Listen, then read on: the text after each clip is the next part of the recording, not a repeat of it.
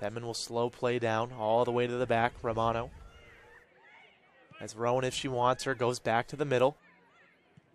Long shot on shot. there. That one has to be punched out of trouble. A long shot right there from Seishin. It's at Delphi.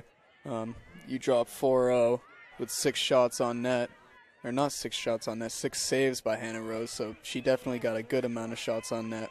Beautiful Um, save right there from Escobedo. A far shot right there from Seishin. Luckily getting out to it right there.